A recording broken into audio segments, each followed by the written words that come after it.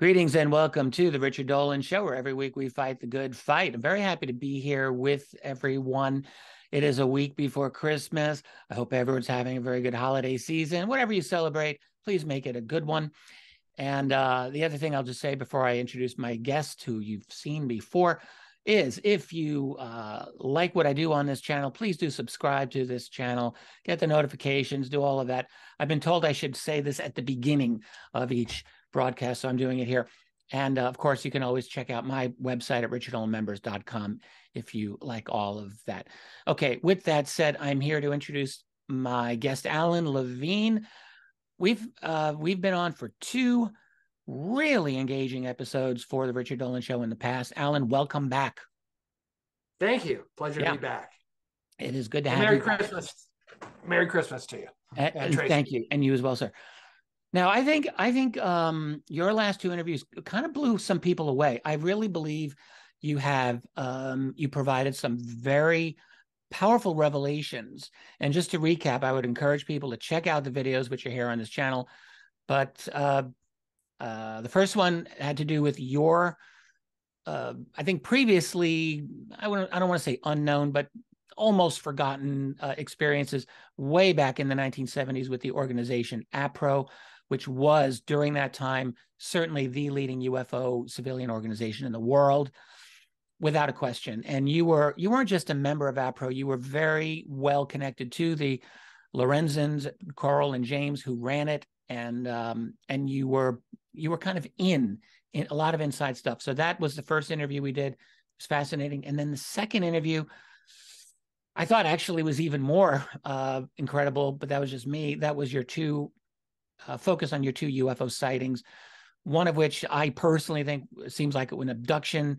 We got into all of that. You provided some very interesting visuals for that. Um, and so all of that is available. And then during that, you uh, we you kind of had a couple of these these hints, tantalizing hints, teasers about what seemed like a well, let's just put it out there an attempt by the Jimmy Carter White House. We're talking the late 1970s, possibly to engage in some kind of UFO disclosure, if we can use that. And APRO was involved in this. You were involved in this.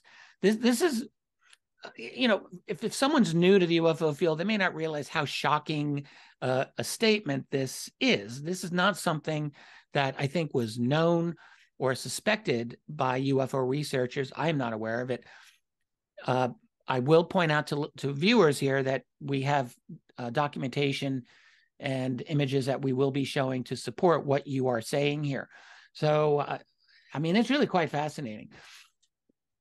Uh, basically, an aborted disclosure attempt, we could say, by, if it's not the Carter White House, and some source within the United States government at the time amazing stuff. So let's let's recap it.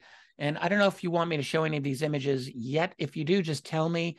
I've got them on ready to go on screen share. But well, how do you want to just uh, ease us in here? Yeah.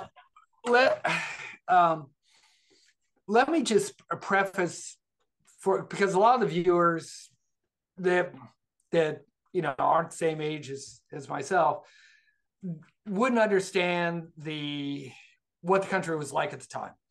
Um, it's nothing like it is today. It you might say it was a smaller country at the time, communications wise, government wise, everything was much smaller, much tighter. You only had three networks um, that you could watch television on. They were free. There was no cable TV. You had PBS, but no one counted that. Uh, That's so true. You know, every everything was local it wasn't like uh, you'd go, you were getting the New York Times every day. If you wanted a New York Times, you had to go to a newspaper, you know, uh, place that sold magazines and stuff and buy a New York Times there. It wasn't delivered to your home. There wasn't the communications that you have today. Even mail, if you ordered something today on Amazon, you're going to get it the next day. Back then, you're talking four to eight weeks, you're going to get something. So it was a much different time. And uh, given that atmosphere, communication didn't spread like it does today on the internet. Today, if there's a new uh, UFO sighting, it can be all over the world within minutes. Somebody uploads it from their camera, their cell phone, and everybody sees it within minutes. Back then, it could be weeks before something would get to you. Someone would send you information like us at APRO. We got mail every day.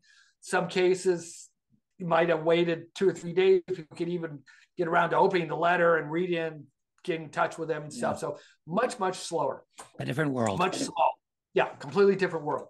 Now, go when I began with APRO, my uh, initial concept was that I would be working mm. basically as a staff artist. It was never my intention to be an investigator, but that's how it evolved very quickly. Fact, immediately, mm-hmm.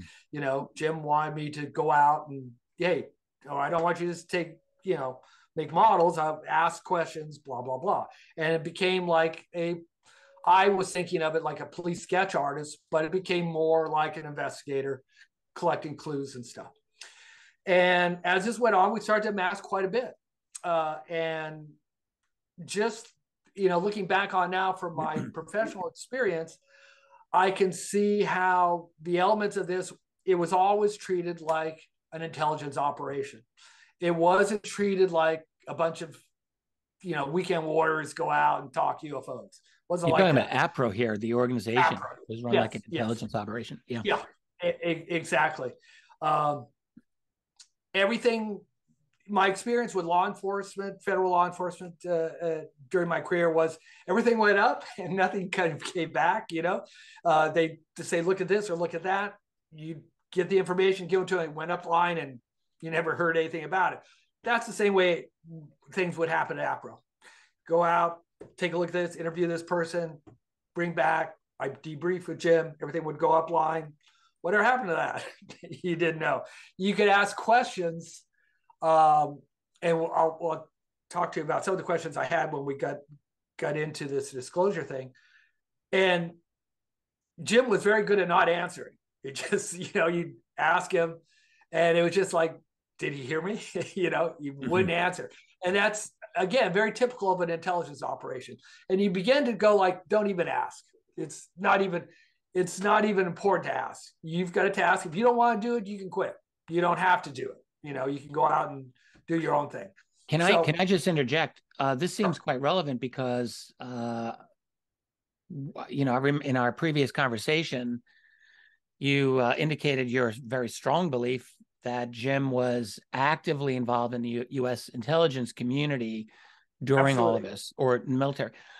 So uh, that that connection uh, seems like it would be a at least a partially good explanation for why APRO seems to have been working with the U.S. government on this project that we're about to discuss. Is that fair yeah, to say? Yeah, yeah. APRO was the only thing operating at the time.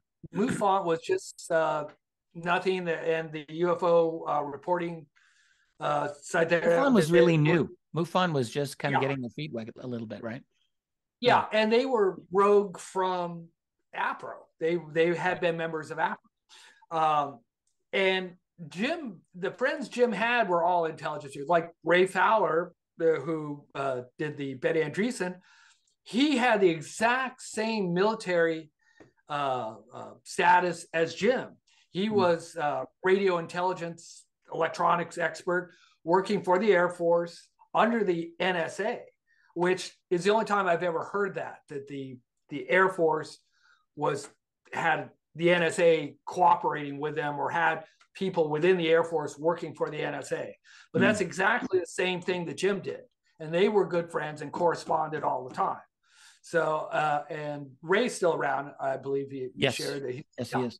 He's still around. And it'd be interesting I, if, if you ever have a conversation with him to ask him more about Jim's background, because he might have confided in Jim, you know, what he was, you know, doing more so hmm. than he would have someone like myself who was a military. Because I know he did with Wendell. Uh, Wendell, who was an Air Force colonel, he he that was his best friend. They did communicate quite a bit, you know. Um, Some of the newer so anyway, people out there, that's Wendell Stevens, a longtime UFO investigator, former Air Force pilot and officer, and much more. Yeah. Yeah. Uh, so coming into this, and and I didn't know this till till much later. This Jimmy Carter, what we would call disclosure, that uh, we didn't call it disclosure at that time. We just called, hey, we're just going to reveal what happened. But there was another kind of slight attempt back during the, the end of the Nixon administration, and that's open source. Uh, the Nixon administration wanted to get out something more exciting than the moon landing, you know, because they had all this Watergate crap going on, mm-hmm. and they wanted to change the subject. And they approached NBC, who I did some work for on their original uh, project uh, Blue Book TV series in '79. Uh, they approached NBC and said uh, to a, a, producer there, Ederman, I think his name is, and they uh, Bob Emenegger. Yeah, yeah, Bob Emenegger, and they they post, hey, if we gave you the Holloman, you know, landing UFO thing, would you could you do a movie on this and stuff? And oh god yeah we do this and that just all fell apart but that was like a soft disclosure at that time well we we know? have always been told that uh, there is a scene that in which the original video or the original film was used for that yeah. uh, for that film yeah and i'm wondering if yeah i'm true. wondering if that film that they're talking about if just because so few people have seen it if they're not conflating it with the um, um, uh, what's his name? The astronaut uh, Cooper.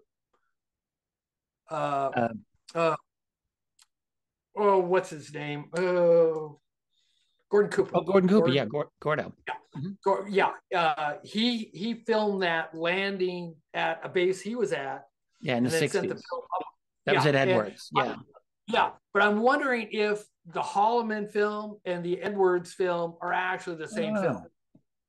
I don't know. That's because yeah, I, am thinking maybe they're they're conflating it, and because no one's he said, well, I stand up line, I don't know where went. He says, how do you follow it? You know, so it might be the same film because how many times is the UFO going to? Well, the thing with that that film you're talking about, uh, I'm trying to remember this, but Gordon Cooper was uh, at Edwards Air Force Base. I am I getting this? It was in the early 60s, yeah. not the 50s.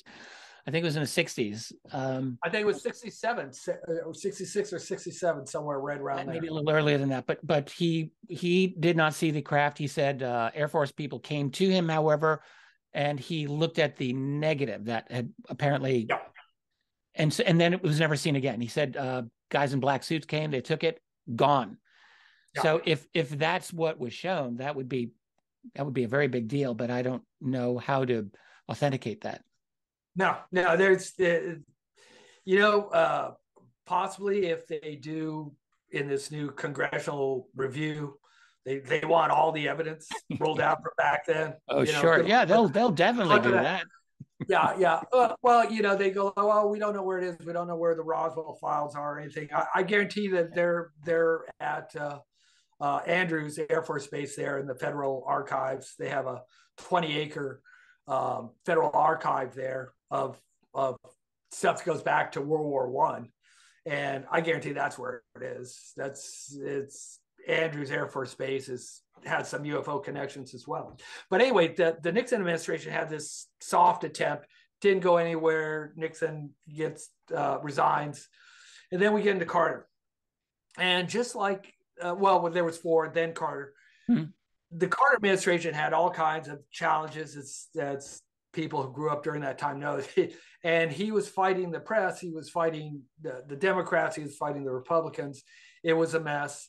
And uh, he was really beaten up badly. Um, uh, it was, I was really surprised, even at my age, that he was even elected, being a governor from a small state.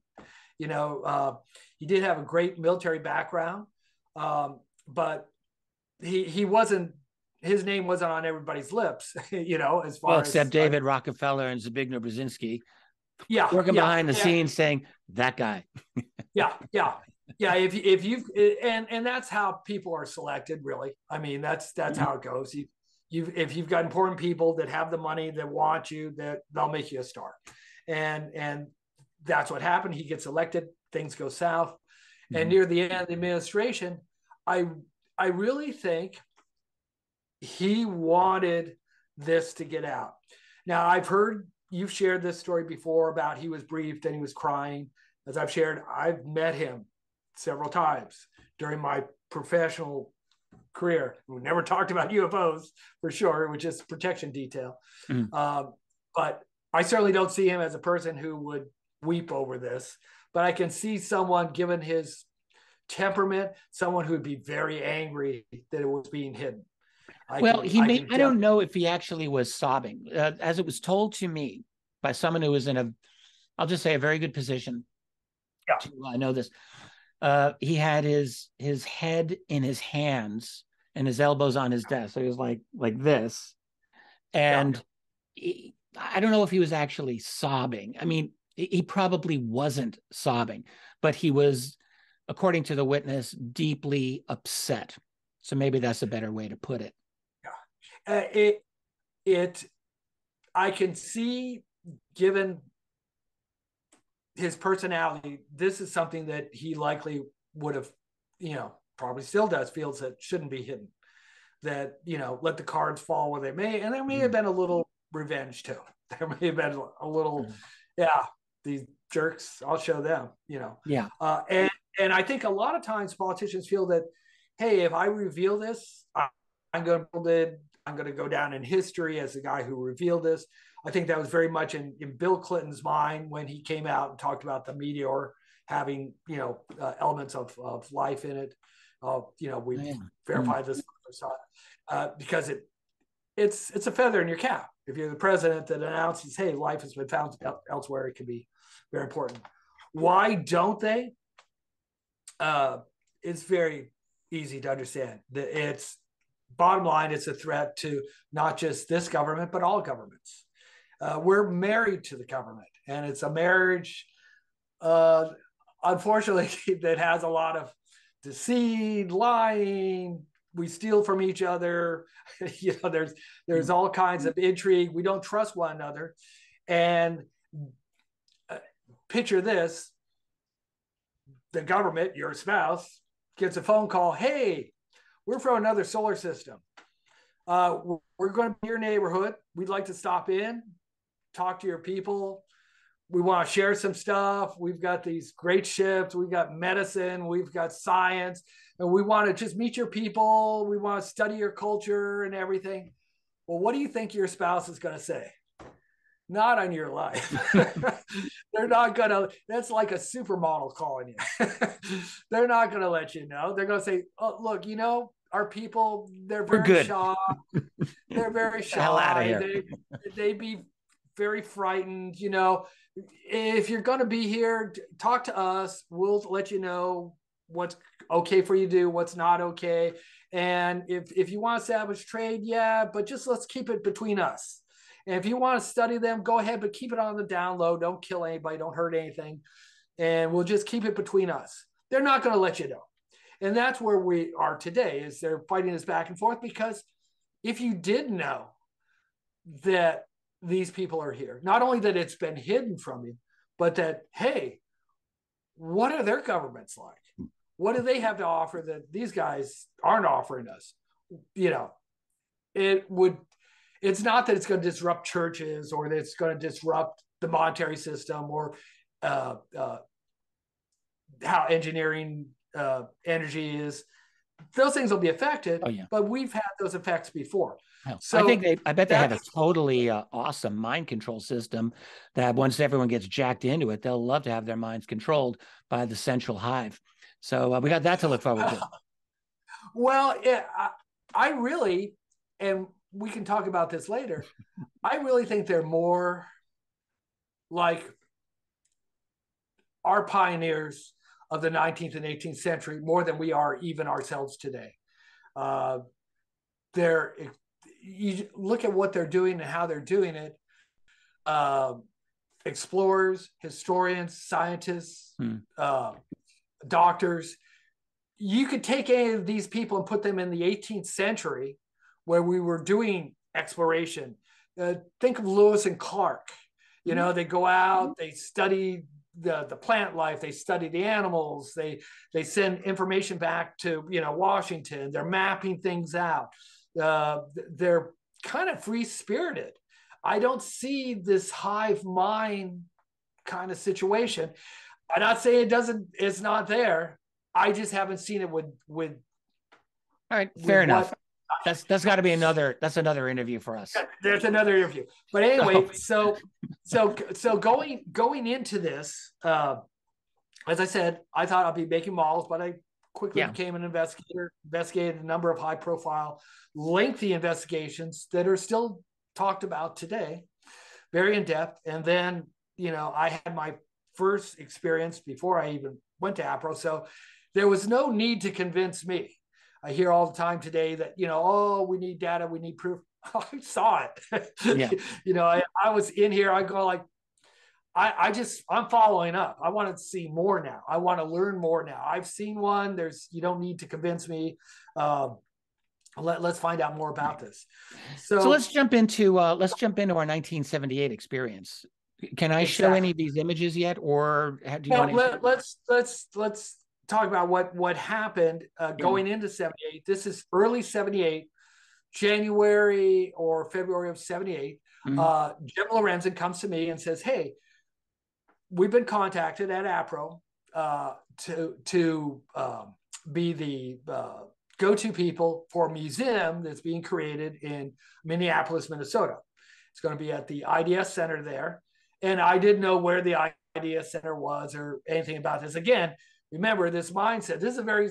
I'm going to share this image I, here sure. just so people can see. This is page one of the brochure of the uh, this center.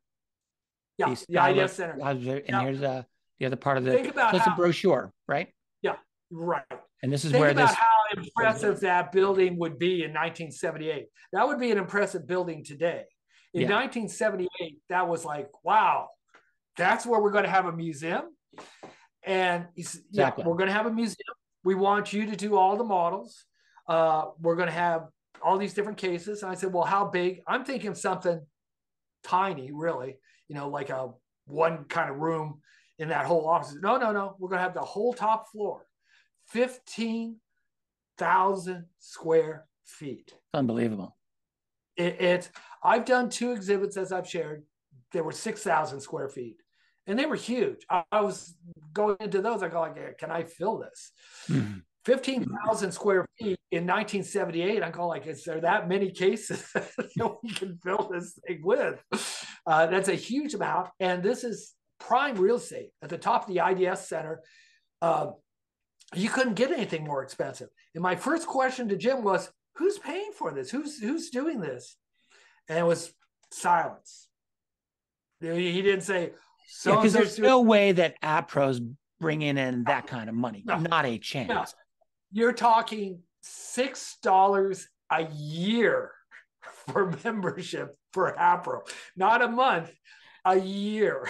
Plus, they're, they are cranking out their uh, monthly brochure. Yeah, yeah. Like, they, well, that, that was included. That, that was included in the, the membership, the, the, right? And Unreal. they at their peak, it was only fifteen hundred uh, uh, members, they had to be spending more postage because uh, um, at least I think it was 25% were international members, you know, outside the United States. And back then, shipping uh, even a you know a regular legal envelope somewhere costs you a couple bucks.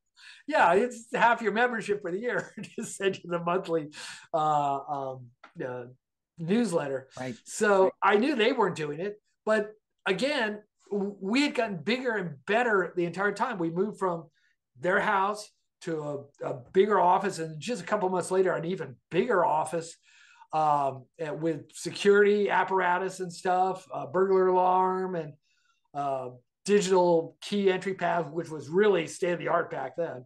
Today, you have that at your house, but back then, they're like, wow, you know, cool mm-hmm. stuff. Um, and I'm going like, where are they getting all this money? I'm thinking, nah, I guess Jim has spent his pension on this stuff. But I mean, even today, I, I go like, how can they afford the lease? And they had a full time uh, administrative assistant. And, There's got to be another source. It's, it's undoubtedly, yeah, it's government. Gotta, it's got to be a government source. Yeah, absolutely.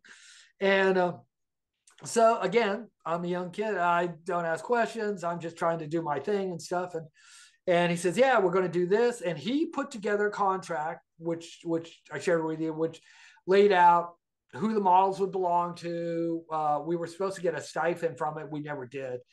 Uh, um, uh, you know, the APRO would retain control over the models and all the uh, information about that.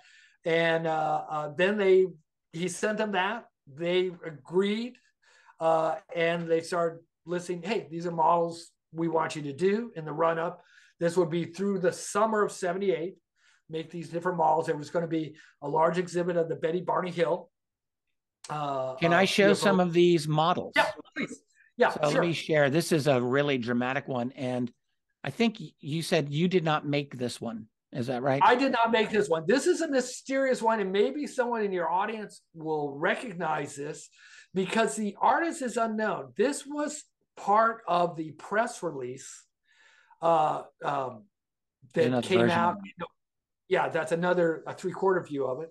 Yeah, uh, that came out in uh, November 11th of 78.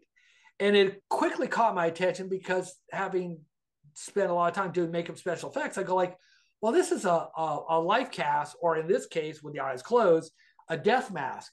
Looks and like I'm going, my first impression is, where was his cast? And Jim says, oh, it was sculpted. I go, sculpted? I said, that doesn't look like a sculpt to me. It looks like a, a, a life cast or a death mask. And I said, what's it made of? He says, plaster. And I said, well, then it's been cast. It had to have been cast in a mold. And I said, likely they use, back then we used a, a, a material called moulage. Today we'd use silicone, but they used to use moulage. You put it over the subject's face uh, and um, take a cast of their, their face. Mm-hmm. And he couldn't tell me who the artist was. Uh, I never saw this piece in person, but later on, I, well, I immediately suspected if you look at the eyes, look at the lack of bio, uh, biosymmetry in the eyes. If you look at the eye on the left hand side, yeah, you'll see it, it's it's it's got like a little indentation. Uh, right. That's not something you would sculpt in. It looks if like it's you, almost slightly open. Yeah, in this this to me looked so lifelike with the the corners of the mouth and the the folds of the uh, eyelids uh, underneath the eyes and stuff.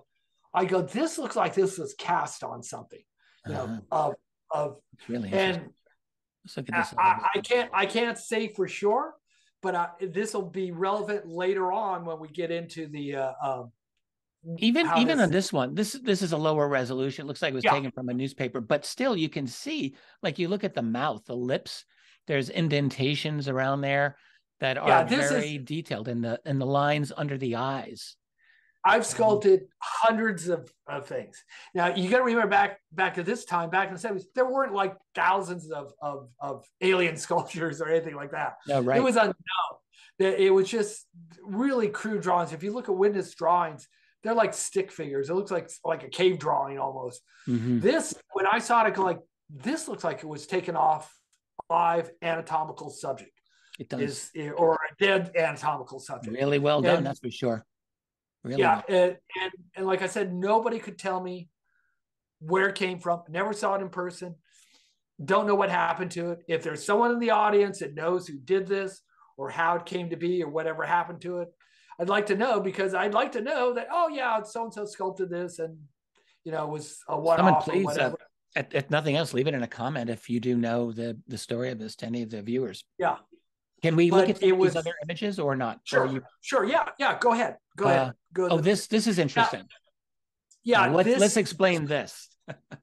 yeah, this was part of uh, of the press release uh, that was supposed to showcase what the exhibit was going to be like.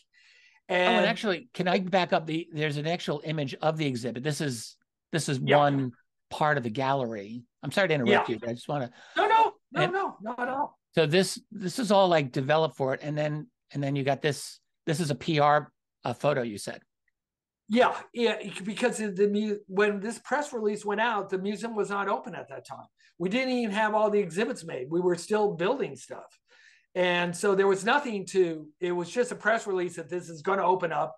They didn't give an opening date. They just the press release was dated November 11th. They didn't say open on this date, everybody come. So this had to be staged. And who did that little alien there? I have no idea. I don't know what that's supposed to be, but this this was a staged thing. It probably is uh, it, that earlier picture you saw with the UFOs on background. It's probably they just spun the camera around. It's probably the opposite direction of this. Likely, this probably those kids. That's probably this standing in the back here. You know. The, yeah, yeah. The, turn the camera around and, and photograph that. But uh, that's that's a setup photograph because there was no museum open at the time. Um, Did this museum so, actually ever open? I'm not sure if I. I, I don't know. You know, uh, in our conversations, I've gone back to to search the net to see if I can find anything about it. Did it open? How long was it open? I, I don't know. Nothing. Because maybe it never did. Like I said, I no, I I I well, and you'll see why. I think the reason yeah. why it did uh, is be, for the reasons we'll talk about in just just a few minutes here. Uh, this was another piece I was supposed to to do, and I did finish it. This is the the you did make this. Yes, you did yeah, this, uh, this. yeah, I, I I did this. This is two uh, different pictures of it, and I did finish it and uh, do a painted version and everything with glass eyes and stuff. All these models that I did do, it's based no on this. Based on that creature there, yeah. Uh, that was from a Scandinavian or Norwegian uh, sighting. It the the the witness had a very elaborate thing. But if you're going to fill up fifteen thousand square feet of museum space, you got to have a lot of stuff. and this was one of the sightings that they wanted to do. Um, whoever was promoting that museum or, or, who was ever on the board wanted this as part of the exhibit. So, so how, how, did this happen? So, did some did Jim Lorenzen say to you, "We're going to do? I'd like you to do a mock-up of this drawing." Yes. Yeah. Exactly. And you're going to so, do that uh, for the display. They, yes, exactly. Uh, they had different cases. Betty Barney Hill, mm-hmm. uh, uh, Betty Andreasson. Oh, well, we uh, got some more here. So, oh, this is uh, yeah, your, you interviewed Betty yes. Hill for this. Yes, yes. Uh, and you created this drawing. Yes, based on she never liked the original drawings that were done at the time uh, right. when she was being interviewed in the 60s. And I said, well, I'll redo it for you. And so I did based uh, uh, on our interview. Those notes uh, that you showed a second ago, those are the only written notes that I took the entire time in April. I thought it was so important because I really, even even more than Jesse Marcel, I thought this was the premier case because there was so much physical evidence. There was evidence on the car, evidence on her clothing, uh, radar confirmation. Uh, uh, uh the highway patrol had seen uh, something in the sky. There mm-hmm. was so much co- collaborating information. I thought this is the premier case. If anything can can really unravel this this case will. So I always felt it was real important. So these these were the sum total of your your notes here for this. So let's just look at those, them. No yeah. hair, no eyeglasses, very little blinking. No eyelashes. Oh, eyelashes. lashes. Sorry, yes, of course. Uh, like dog, dog's eye. Like, yeah, like a dog's eye. Yeah. White, uh, white, pale. You, you, very you, marshmallow yeah, white uh, and and pale, very marshmallowy. That's the skin, and that, as I've shared, has been confirmed by two other witnesses that did, that never knew this because I never uh, uh, and no one APRO ever released that the similarities between the marshmallow-like uh, texture of the skin and and these gray aliens. Mm-hmm. Uh, they had five digits on the hand. Mm-hmm. Uh, they wore red military-style uniforms with turtlenecks. Uh, ears were kind of like little bumps. Uh, no lines or wrinkles in their mm-hmm. face. Uh, no signs of age uh, between the different aliens. Um, uh, their shoes were a dirty tan and dark color, and their noses were very small. Okay. I was very interested in alien physiotypes and, and wanted to create phylums of the different descriptions.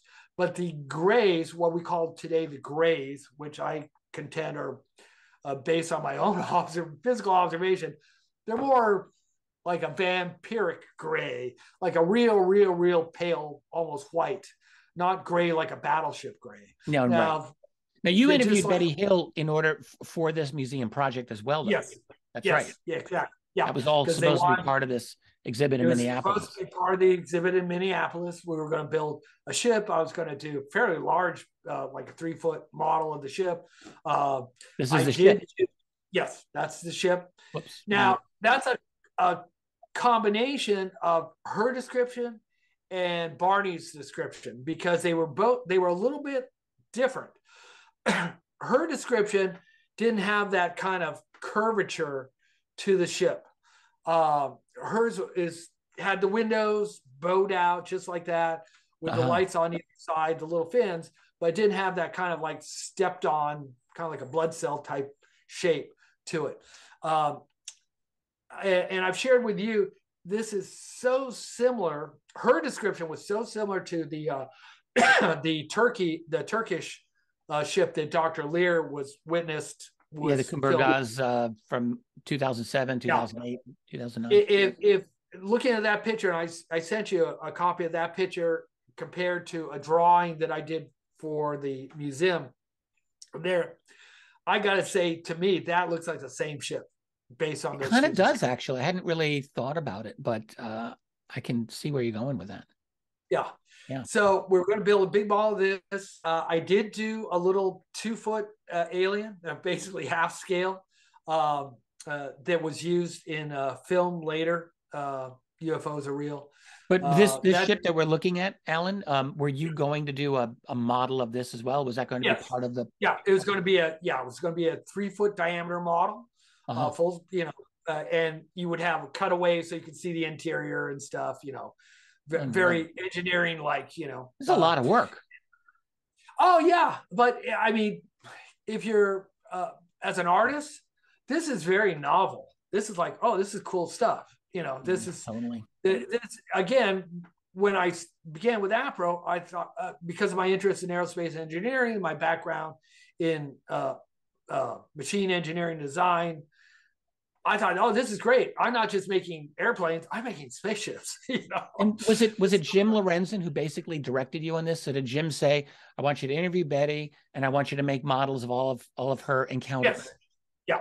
yeah. And that was Yeah, that was the whole that was the whole discussion beginning in 78 right through the summer of 78 uh until we got the press release in uh, uh November uh, 11th of 78 was nothing but working this up doing designs I'd give them to him he'd give them to who knows I don't know who and he'd go yeah they like this he would always say they he never said Jimmy Carter like this or the Air Force DOD like this. He just said, yeah, they like this. Yeah, go with this. And But he made it clear to you that this was a, a government thing somehow, some part of the government. well, not not at that time. It wasn't until after the press release in 78 and going into 79 that he said, yeah, this is this is more than you think it is.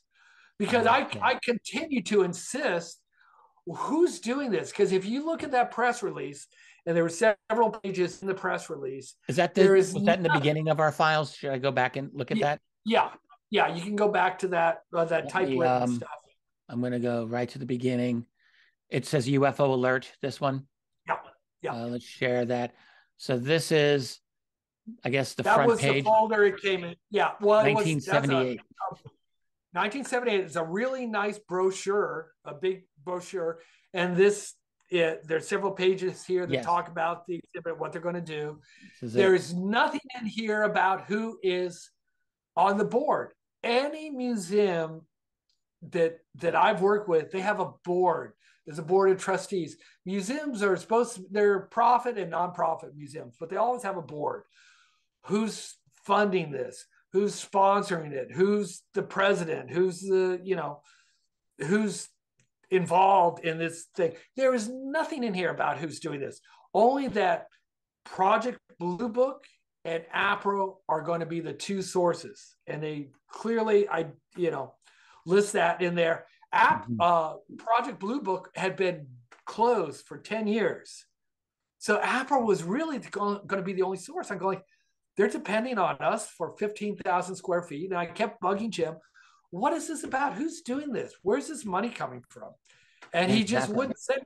He he just you know, he wouldn't even change the subject. He just asked me, well, what about this project here? Are you working on this? Or can you give me some drawings on that? He just ignored he you. Just, he just ignored, just totally in a very pleasant way.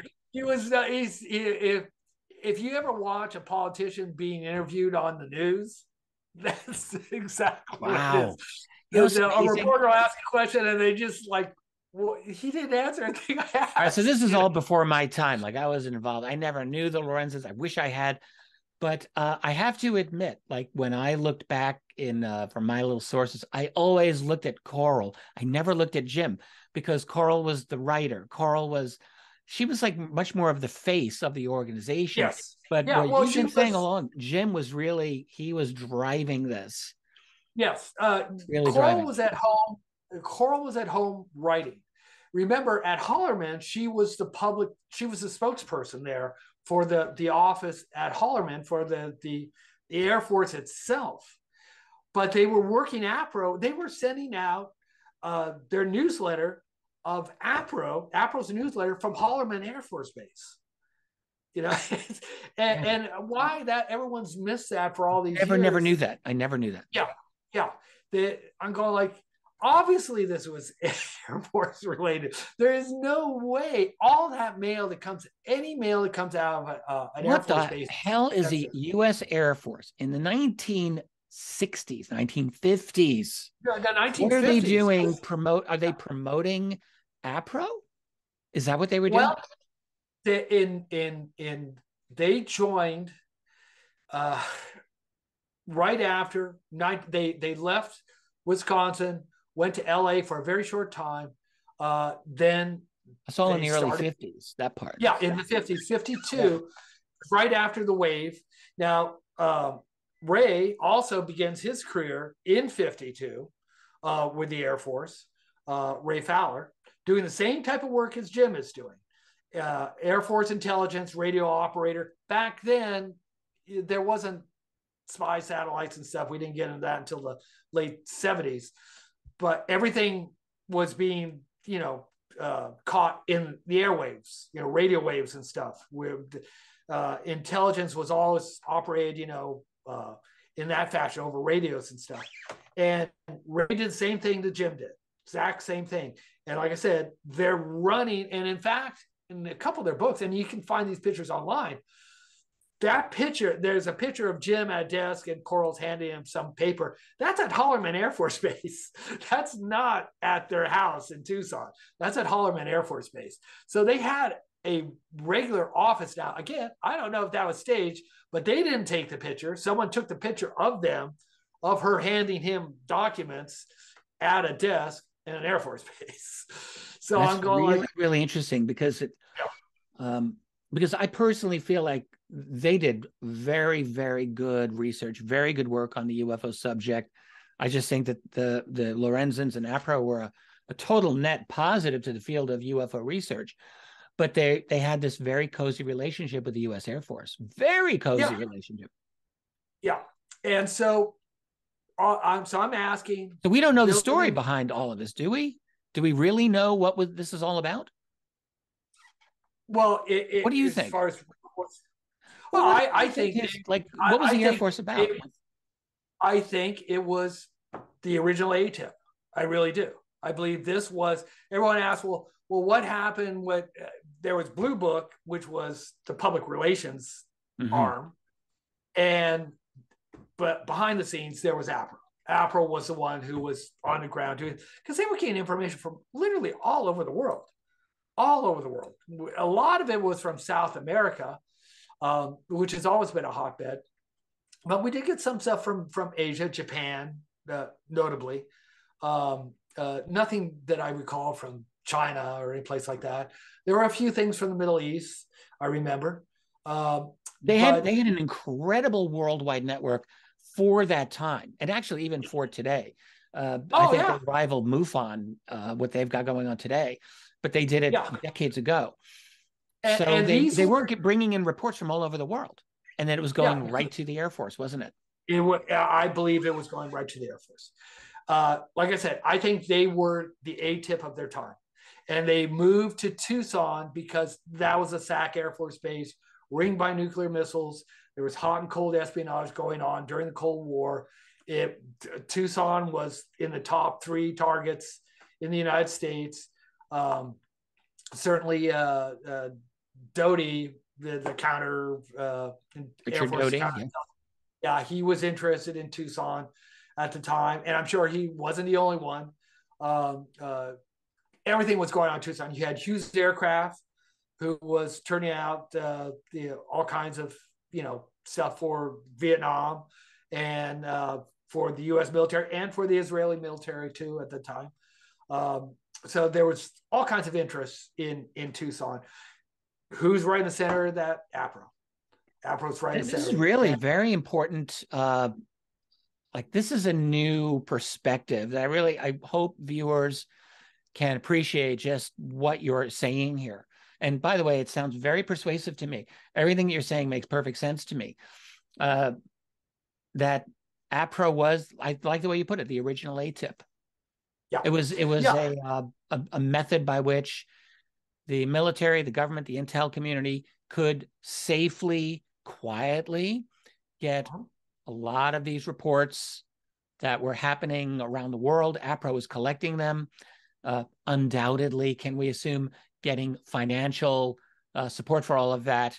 Because they, they couldn't have oh, afforded it otherwise. It was too much. They, they, they, they, had to. They they because they had no other means of support other than than uh, uh, their pensions if they had a pension. I mean, they weren't retirement age. Uh, I, I, don't think when I met them in seven. No, no, no, they were too young.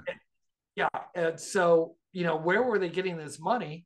Mm-hmm. Um, I have, I like I said, I even suspect at the time this is they've got to be getting money from the government because now here's the other thing though it's it's complicated because you know Coral Lorenzen famously really hated the CIA, or unless yes. I don't think that was for, for, pretend. I mean, the CIA, we know this in the Robertson panel, they surveilled APRO, and she yeah. wrote about this, and she was angry about it. Like you can see that. So there's there's different uh, there's different things going on here behind the scenes. Would would you agree with that? Well, yeah. Well, it, it's very possible, seeing that Ray worked for the NSA underneath the Air Force umbrella. It's possible that Jim also, because we we do believe that the NSA is thoroughly involved in this because they're so involved with communications and spy satellites, and these would be places where you would get, you know, photographs of UFOs or, or film of UFOs sure. in space or communications uh, and stuff. So he might have been working under the same NSA umbrella that that uh, Ray was, and uh, or just Air Force uh, under the Department of Defense. You know that he he worked there, but he was working. He that was his expertise, was the same as Ray's. You know, uh, radio communication, intelligence, and electronics specialists and stuff. And he never, he wasn't doing that at APRO. I go like, you know, he's not like repairing electronics in his sideline or doing anything with radios. There was no radio equipment that I knew of in his home. Back then, the, the big deal today we have the internet, but back then ham radios were the big thing. That was the internet yeah. of the 70s. And and you'd have these Remember that what was that CB song? Uh Convoy. Oh, Oh, Convoy. Yeah. Well, uh, the, the ham radios are, and they they're still around today. Uh, in my work, in California for emergency setup, if there's ever a major quake, like we had a quake last night, uh, if there's a quake and everything's shut down, there's a system that ham radio operators can communicate with the Red Cross and the military and everything so that we can get you know triage centers and everything together. I, so I they're still out I think, I think, Convoy was for CB Citizens Band. CB. You're, it's, you're talking it's, ham radio. It's a little. That's a I'm talking ham. Yeah, yeah. The, yeah. You'd go into someone's home with a ham radio setup, and I mean, it, it took up an entire room. I mean, because it's all vacuum tubes back then and stuff. It wasn't digital electronics. Today, a ham radio would set on, you know, be as big as a laptop. It's very small. But back then, it was an entire room full of electronics, and you'd have a huge antenna on your, you know, array on your house. So, so Jim didn't have any of that. you know, there was nothing. There was no indication of that he was listening or working on radios, working with electronics at all. uh, he was just triaging the mail and he would say, Hey, look into this, look into that. And he was so polite, so succinct, so gentlemanly, uh, very soft spoken. Coral was back at the house writing all this stuff up, writing the books. There are eight books and the newsletters each month. And you know, from being a prolific writer yourself and writing your blogs and writing for the website and everything, that's an all day job. You're you're writing all the time. Yeah. And that's what she did on an old Underwood typewriter, not even electric, just one of these little punch ones. It's so cute. The thing looked like it was, it, it must have been her first typewriter from back in Wisconsin because this thing was ancient. it, was it was almost rusty. It was, I love those so, type. I used to type on an old Royal typewriter, very similar yeah. to the Underwoods. And uh, yeah. they were just a thing of joy. They were a thing of beauty. Yeah. Yeah. Yeah. She, of, she had that on her, her little desk. It was all very neat. Their home was so small. It was a tiny little home, but it was sweet. It was the literal white picket fence with a little yard in front. It was just enough for them. They, they were a darling couple and, and they were very close. Never heard an ill, uh, you know, uh, conversation between them at all. And well, there's anyway, no way so, that they, they could afford the 51st floor oh, of the biggest building in Minneapolis. No, 50,000 no, square feet. nobody, nobody back then would have even risked that. If you're you're you're thinking attractions back then, if you were going to do something like that, maybe New York, maybe Los Angeles, but Minnesota, I'm just showing this I'm again sorry. here. This is insane. This thing is huge. Yeah, yeah I, I, Unbelievable. Buildings like this lease uh, places, they're leased by the square footage, you know, mm. like it might be a couple grand per square foot. And they had 15,000. Okay. So that's even at a thousand dollars per square foot, that's $15,000 a month in 78. that's, that's, not happening. That's, that's not happening. No, no, no, that's that's insane. So, uh, and so this this the press release came out in '78. I go, oh, good, this is good. And I'm going like, I'm, I'm very excited because this is really fleshing out. This is really going to be something really big. And that press that was then, November of '78. November of '78. November 11th, November 11th of '78. Okay. Okay. So. So I what happened? How, how did this whole thing develop then? okay so uh, i don't remember if if jim had his his his heart surgery that uh, fall to christmas area or if it was the year before. But uh, after november 11th we had the holidays we had thanksgiving christmas and we really didn't do much of anything. Get into the new year and jim approaches me uh, you know and says hey you know uh, uh, my heart is not what it used to be. And uh, you know coral and i are thinking of of you know what are we going to do when we're gone? Who are we're going to you know entrust apro to? We'd like you to do it. We'd like you to we'd like to get you you know up to speed and you'd be doing this. And i go like oh yeah i'd like to do that. I go like this would be this be cool. You know i'm thinking you know i i hadn't chose this course for my life but this is evolving and yeah i can see myself doing this. And it was a couple weeks after that he came over impromptu. It was in the evening, um, and, and oh hi Jim, you know he didn't he wouldn't call. Sometimes he'd call and and and give me information, but when he would come over, he never called before he'd come over. He just knock on the door, and there he was. Oh, Jim, it was all about the pop in. Yeah, pop in, like we learned was, on Seinfeld. It's like he was. He did the pop. Yeah, he was like he was thinking of something and oh i'm going to go buy a house because he was just a couple blocks away so he came over it was an evening uh, uh, my wife uh, wasn't there at the time and sat on the couch he says oh he says uh, i want to talk to you about the museum i thought oh I, I was a little bit concerned that oh maybe it's not going to happen now maybe the museum said it happened they didn't get the funding or it's not going to go forward or, or maybe there's something new whatever and he says uh, uh, there's really more to this museum than just the museum in Minnesota.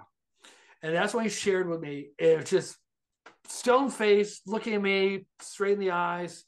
He says, they want to release, and he said they want to release the history of the United States Air Force, NASA, and the government in regards to UFOs and aliens. And I said, well, what do you mean? He says, they want to release the entire history. I said, well, who? And he said, the government. That's what he said. The government. And yeah, the government. And I I go, in my mind, I was thinking, well, it's about time. Because remember, I've been working on this since 74. It's now, you know, we're now into 79. Okay. This is uh, early part of 79. I'm going like, well, it's about time. You know, we've been thinking this is going to happen. Uh, there was a time in 77 when Powell said, hey, we're looking into this for the Carter administration because they were having these submarine bases buzzed. Uh, and uh, so I thought, well, it was only a matter of time. Now we're going to do it. And I thought, I knew there was something more to this museum than met the eye because no one puts this kind of money into something like this on a lawn. One museum in Minneapolis on the 51st Yeah. floor. Like it's a it's a bizarre thing. Doesn't Yeah, yeah, it- Yeah. Oh, yeah. It's it's totally like, uh, but when like this is where you're going to put sink all your money. Nothing against Yeah. Minneapolis; it's a great city, Yeah. but it's like, come on, yeah that's yeah, it. yeah, you're not. But as an artist, you're going like, I, I don't. It's their money. If they want, if they want to do that, Sure, it's fine with me. But then it made more sense when he says, "Yeah, they want to do this." I said, "So, so the museum is actually going to be like like the Smithsonian's." It's he says, "No." He says, "What they want to do is they want to take this on the road." And they had just in 76 and a lot of your viewers are not going to understand this because they weren't there. But in, in 76, we had the bicentennial train. It was the anniversary of the, uh, the country's founding. And they took some of the most sensitive and secure documents in the country's history, the Bill of Rights and the Constitution, uh, and a lot of other real artifacts, not manufactured artifacts, real artifacts, and they put them on this train that went all over the country. It was very high security, although you know today uh, it looked seamless, but it was very high secure. They they were very concerned about the physical security of that train Sure, of course, because yeah. something happened to it. I mean, there goes It's a security you know, nightmare, I would think. yeah, yeah, but and there was no. This is seventy six now. No screening going into this train. There was no metal detectors or anything. You just got on the you know train and walked through it. It was a long you know exhibit. Uh, um, and had all these interactive things where you push a button and it give you a little spiel about what you were looking at a musket or a uniform or the, a document or whatever. And they apparently loved this. And in uh, thinking about communications at the time and we talked about this today what would be proof for everybody? You know what would be proof for everybody? Everyone goes like oh i wouldn't believe it unless uh, ufo landed on the white house lawn.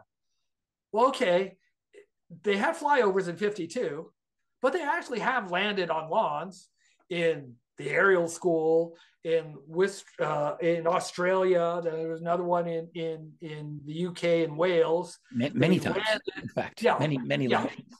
Yeah, yeah. Uh, I think James Fox actually uh, said close to 100 different landings over the years in schools. In, in schools. So, and that's just not one person. In, in Ariel, uh, Mack recorded 66 interviews, but there was over 100 witnesses. So they have had mass sightings. They have had West, that's. Westall, Australia. Australia. Yeah, That's a yeah. heck of a case. Yeah, yeah, yeah. Yeah, so they've they've had this, and people say, "I don't believe." it." Okay, so how are you going to get everyone to believe it? Jim said what they want to do is load up all this stuff onto the train that was formerly the bicentennial train and take it around so everyone can have a firsthand look at it. They can see it, they can touch it. I said, What do you mean? Like Roswell? And he goes, Yes. I said, They're going to have the Roswell craft on this train. He said, Yes. I said, What about bodies? He says, Yeah, because that was one of my big things. Like I said, biological, you know, I wanted to do a book, a phylum, you know, all these creatures. He says, Yes.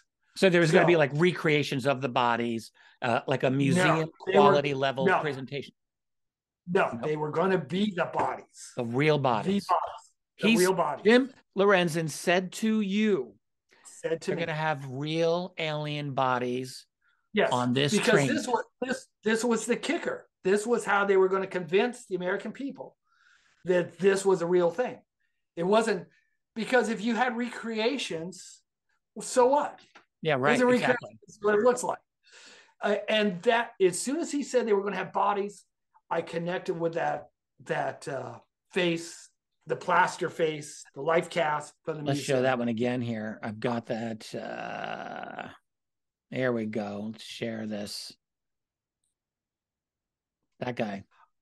I Yeah. immediately thought, okay, now I know where they got this. This is from one of the bodies. This is that's how they got. That's why I've never seen this again. And by the that's way, why. So yeah, when you talk, I'm sorry to interrupt you. Um, no, no, there are a number of uh, witnesses of the early crashes, and I'm thinking, I think with Roswell, but uh, definitely witnesses went on the record to say they did not look like our archetypal gray with the big black eyes. In fact, one of them said they look like us but smaller.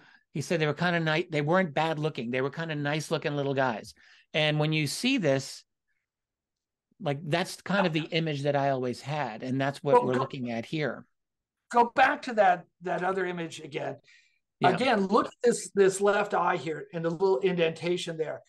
When you see a cadaver, one of the things that happens after death, uh, and a mort- what morticians will do, people don't realize this. It's I hope I'm not grossing anybody out, but they actually like it's like a lens that they put underneath the eyelid to make the eyes look uh, eyelids look natural in death.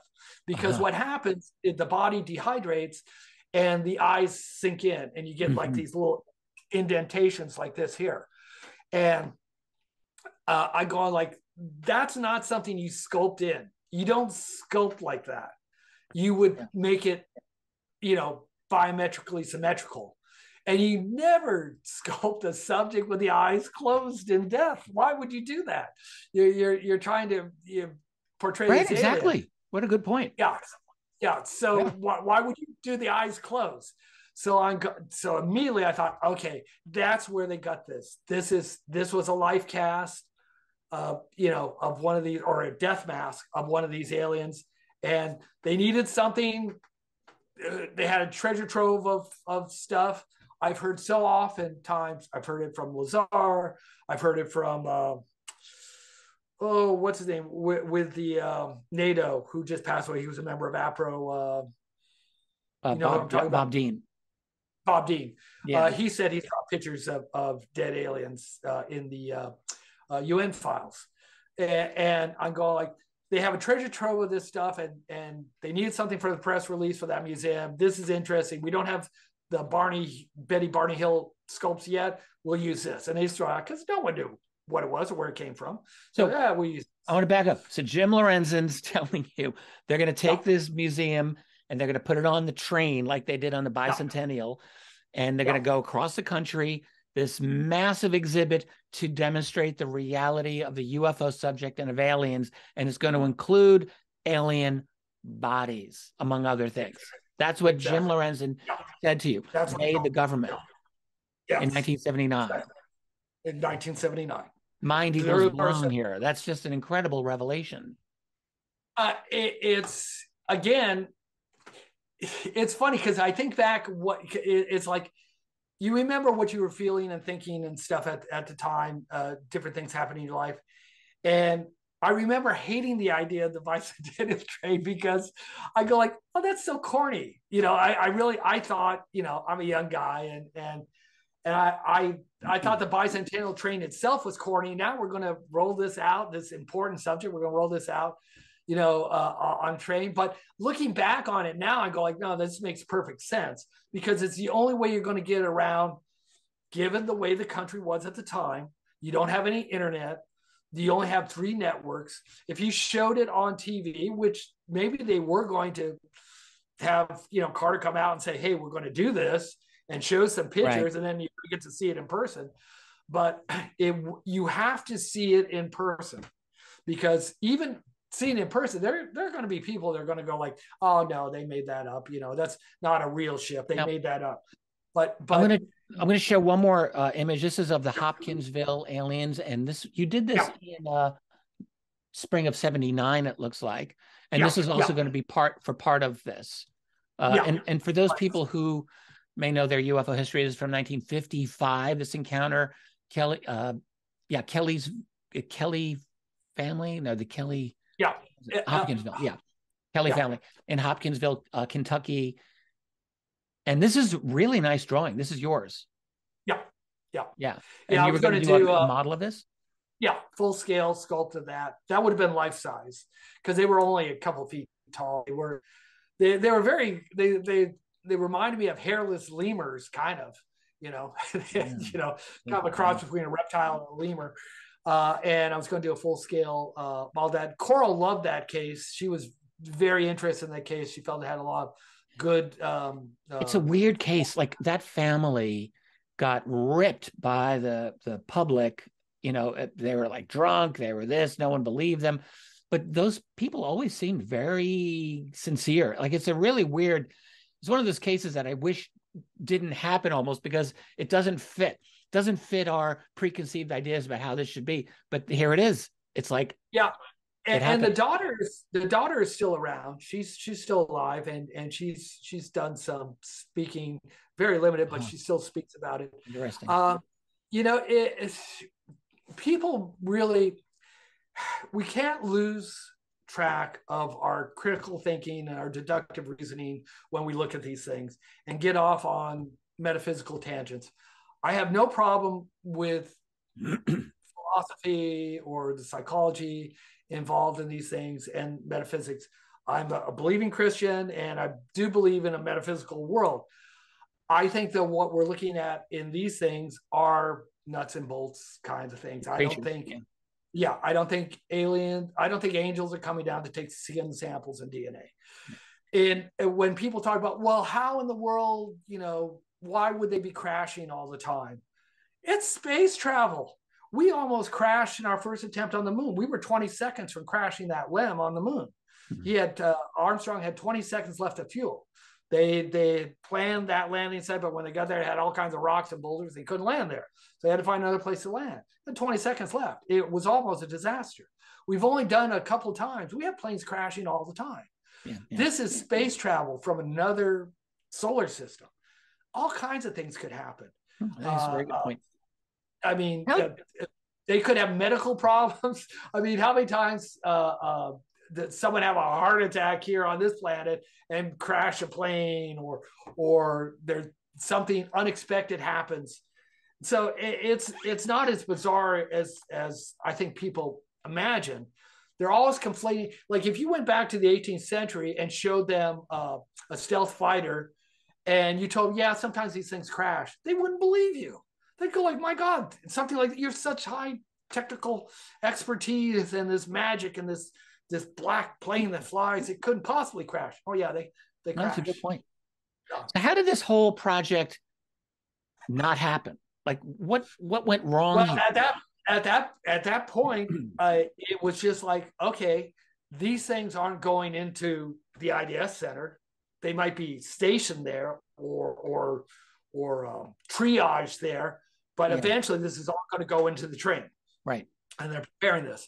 Well, of course, at this time, we had the Iran hostage situation, which was. Uh, this was uh, political uh, murder for Carter. This just killed his presidency. Oh, oh yeah. Uh, right. I, I, had a, a, friend of mine was, uh, her father was one of the people that was captured in the embassy there. I remember we were on a set when the announcement that they'd taken the the consulate and, she started crying. I go, well, why, why are you upset? She, says, oh, my dad is the agriculture ambassador there. and I go, oh, uh, you know, cause I, I said, said to her before she told me that, I said, oh, the Marines will be in there tonight and they'll, you know, get everybody out. And of course it, that didn't happen, yeah. but it destroyed the Carter administration and, and, oh, the economy. People think the economy is bad now. Oh my God. You're talking double digit. You're talking 18% inflation, not 8%. It was like way up there. Uh, uh, home prices, because I was trying to buy a home at the time, is double digit for a mortgage. I mean, you can't can't imagine how bad it was. And of course, we had uh, gas. You're lining up for gas. You go line up. Uh, license plate, alternate license plate. So uh, President Carter had two things. Hey, let's get their minds off this. Let's do something else. Let's go. You know, I'm done with this oil. This is a problem. We have this other technology. They're hiding it from everybody. Let's get this off the ground. I'm just going to do it. I'm going to rip the band aid off. That's how I look back at it now. That this is what's the thinking going on. And then he didn't become president. Now, uh, that hadn't stopped me from uh, um, working on up until the very time that he didn't get elected. Uh, continued to make models and and shipping them to who knows where, and never well, got any of those. So this, but Carter, I mean, lost the election to Reagan in 1980. So that we're talking November yeah. of 1980. Yeah. Um, yeah. I mean, I don't think things were looking good for him throughout 79. I, I think that's fair to say.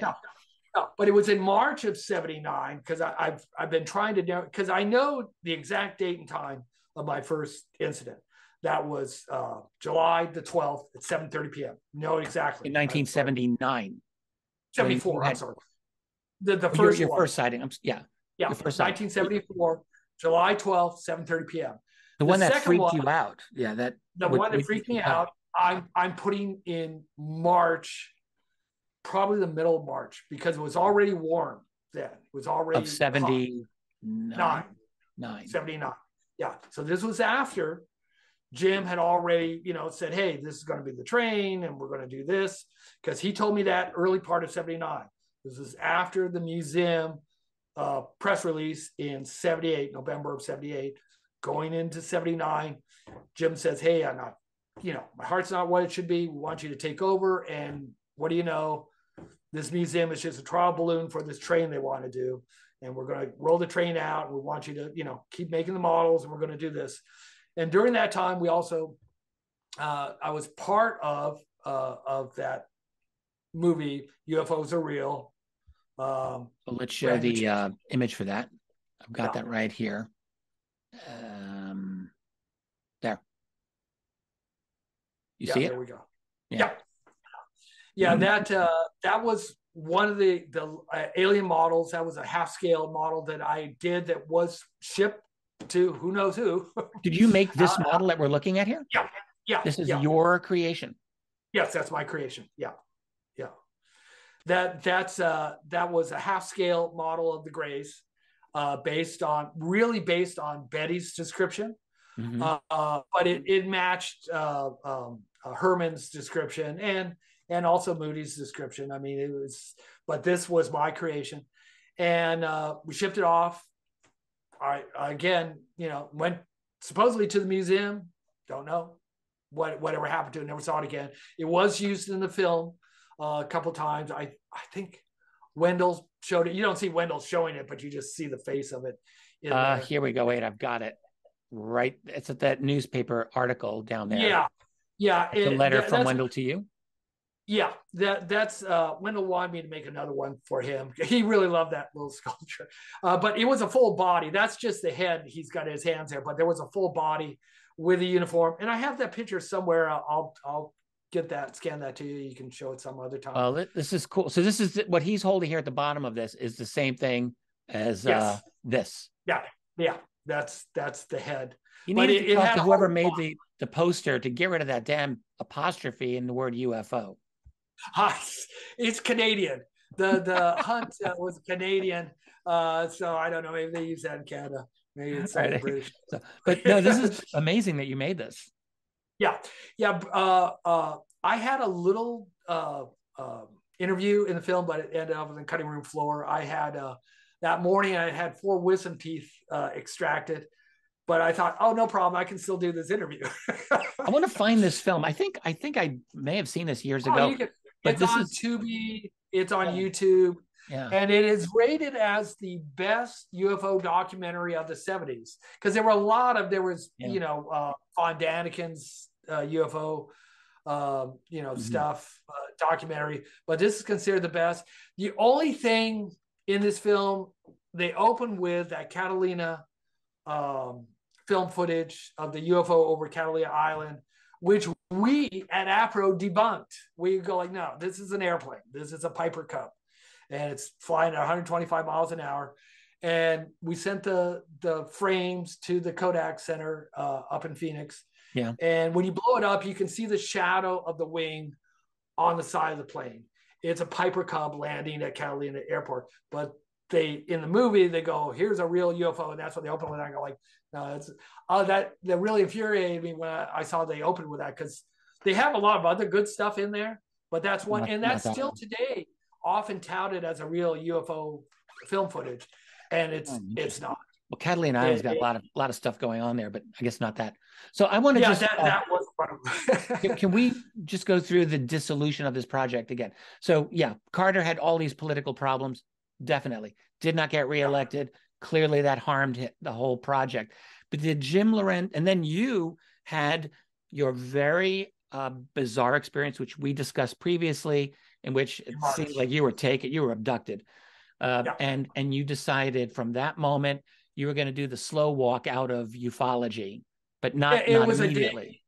yeah, it was a day to day situation. It was like it was like I was trying to forget it, you know, just Right. like okay, just work through this. It, you know, how did the how did the whole thing just come to you? And like, how did did Jim just one day say, "Sorry, this is not happening. We're gonna the whole thing's on no, ice."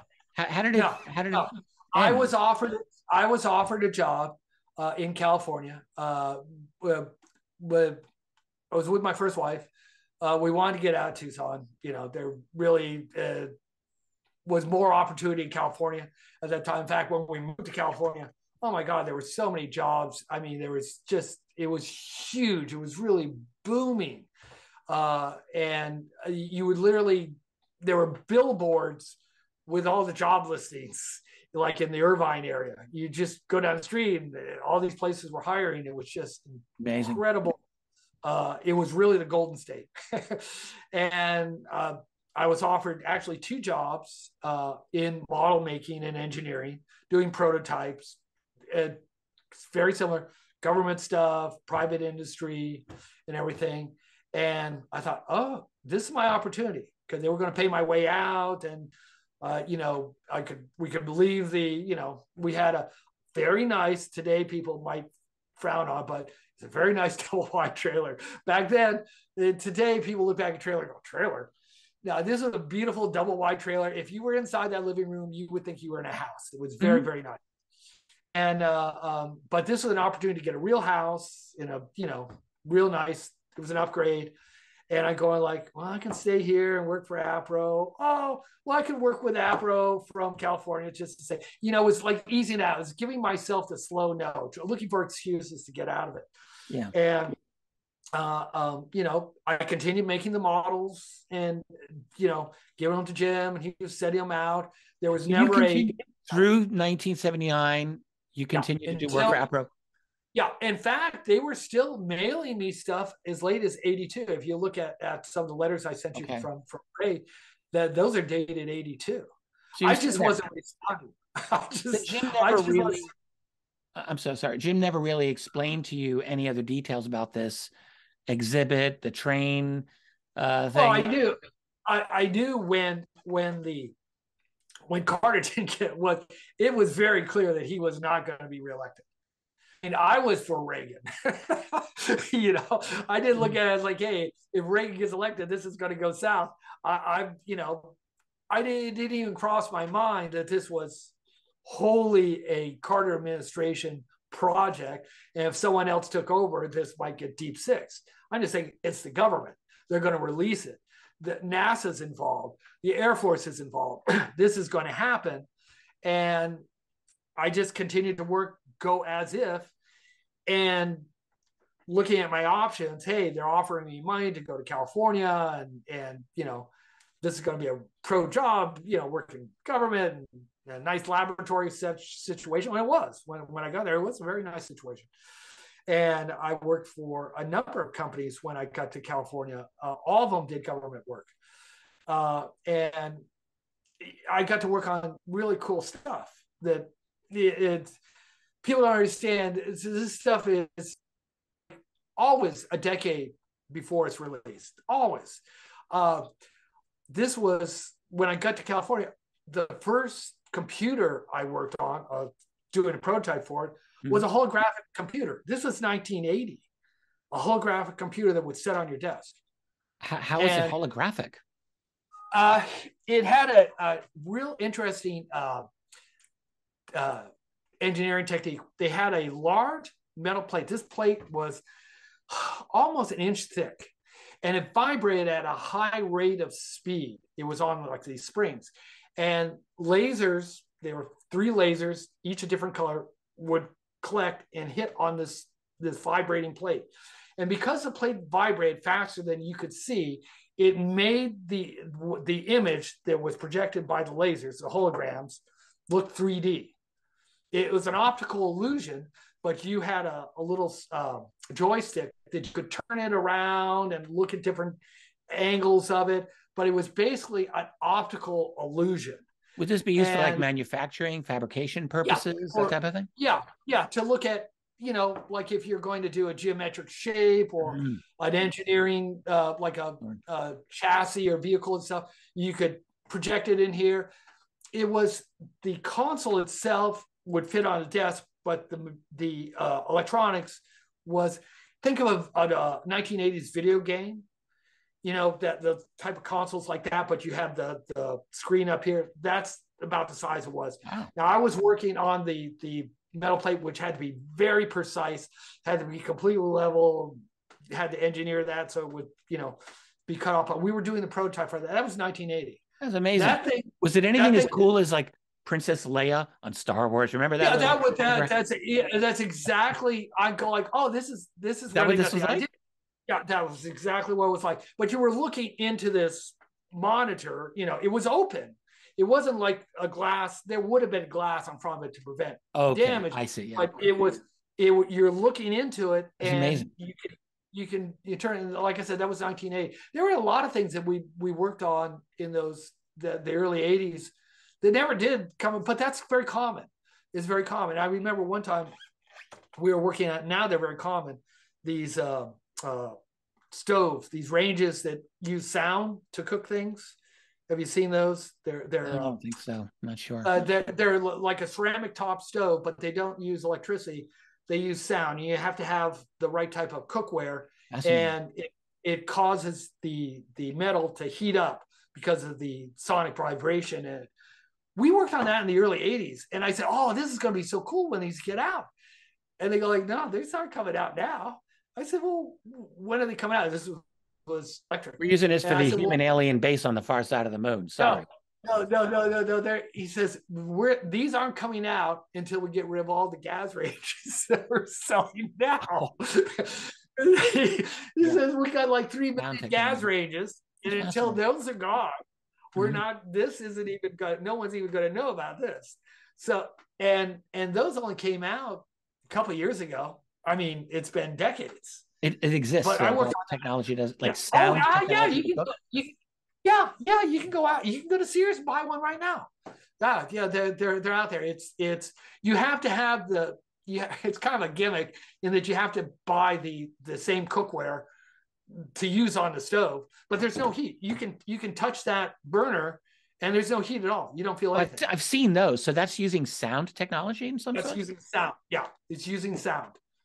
It's, I had no idea. It, that's incredible. Yeah, it, yeah, and we worked on that in the in the 80s. So, so there's a lot of that, you know. So that's what I was looking at going to do, and I thought, well, I can do app. I can still do APRO, you know, and it'd be better to do APRO in California anyway. And they, like I said, they were sending me stuff. But the, the museum, there was after Carter was gone, it was just I guess this isn't going to happen because they were. Asked. So no one ever talked to you about that. Like Jim just stopped giving you assignments for, yeah, for that whole project, basically. Yeah, yeah, because yeah. it, it, it I left. It would have been. Uh, I spent. I I went uh, November of '79 is when I took my first job there in Southern California. It was in Orange so that County. was when the press release happened as well. So when the no, press no, no, the press release was the year before. 78. Sorry. Okay. 78. Yeah, November 78. So this is a year later. You, you moved. Yeah. Yeah, I moved. Okay. And um uh, uh was there uh in Southern California and you know, I was like, ah, you know, I, I so it just kind of like in the it back just sort of like faded away. It sounds like that's, you know, this would be a Yeah, good thing for researchers. Slow no. Yeah, I was giving them the slow no. I I can't say it was a it was a burden. There was a lot of stuff going on. I mean, I, I had a lot of personal stuff going on too. You know, uh, uh, I was married to my high school sweetheart. This is a big move for us. I wanted to right by her, and we're going to have this new life and nice house and Move out of the trailer and all this. So those things were on my mind too. And I wanted to do a good job and you know rise in the company. The company that I was working for, they had promised me, hey, you know, a partnership within that, and you're going to move up and all this stuff. Um, so those things were on my mind too. It wasn't just a, I didn't have a one track mind. There's a lot of people that get into UFOs or any other type of of thing, and that's it. That's their life. This is what they get up and they breathe. And I was, you know, distancing myself from that. Uh, I because I had all these other, I got to make a living. you know, I got to do No, these it's other things. understandable. You're in your twenties, and- you're a young guy. Yeah, yeah. And this thing, you know, with the the UFO in March, you know, where I saw this thing land in my driveway, I just like, if I ever tell anybody that, they're gonna think I've lost my mind and I'm never gonna, you know, like I said, I'd seen what it did to other people's lives. It destroyed them. You know, even people that were centered and and had good lives and and were older than me, and go like, man, this just messed them up. There, there were professors, you know, there were people like Jacobs and Mack and and and Ray Fowler who had, you know, done well, but again, it was still fringe back then. These weren't people that were They all the price shows. anyway. They all Yeah. pay the price. Yeah. Oh, absolutely. I mean, uh, Mack, they tried to drive him out. Even Avi Loeb today, he, they they still pressure him, Mhm. and he's a well-known uh, uh, astronomer. And they're trying to they they're all trying to, and so much of what people are seeing today, this this stuff about why the government is really not disclosing this, that's all propaganda. They they really try and press. I, really feel people sorry for people, someone like Bob Lazar, who still gets crap all the time. I go like, I was in the intelligence field. I know what he's saying is rings true. Everything he shared, so much of it has been proven true, and they still get on him. They still get on, and that's really the government is doing that.